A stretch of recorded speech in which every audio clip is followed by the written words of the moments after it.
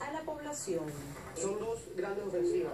La productividad, que es a mediano plazo, a corto y mediano plazo, para derrotar la guerra económica con productivididad. Y segundo, en inmediato, inmediato, la guerra contra la especulación y el razonamiento, donde todos los trabajadores organizados en este sistema se autodefinen, se auto protectores del salario de la clase obrera y se despliegan por todo el escenario de la empresa privada o pública para detectar plazo, tenemos plazo 28 de febrero.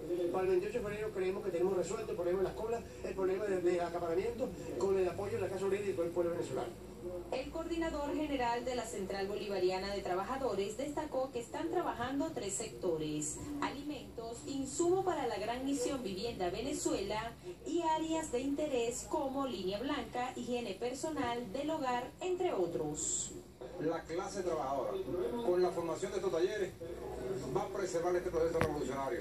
Vamos a hacerle seguimiento a todo el saboteo económico, a toda esta guerra que se ha emprendido de hace, por hace más de dos años y que con la formación de la clase trabajadora vamos a, hacer, vamos a seguir haciendo seguimiento a todo este tipo de irregularidades, fundamentalmente en la distribución de los alimentos que no llegan a los anaqueles. Estamos impulsando lo que es la, la, la producción agrícola, impulsando lo que es la soberanía alimentaria del pueblo.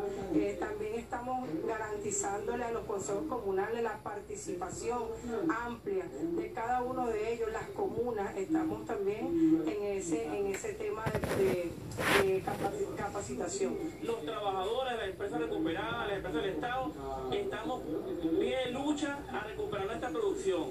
Y el que venga a sabotear las empresas del Estado, señores, los trabajadores los sacaremos de esas empresas y será denunciado. En este encuentro participaron empresas recuperadas del Estado Aragua y Carabobo. Entre las regiones a visitar se encuentra Occidente, los Andes, Guayana y Oriente, para luego a mediados del mes de propuestas al presidente de la República, Nicolás Maduro, con el propósito de derrotar la guerra económica. Desde el Estado Carabobo, Ana Cecilia Mejías, La Noticia. La ministra de Interior, Justicia y Paz, Carmen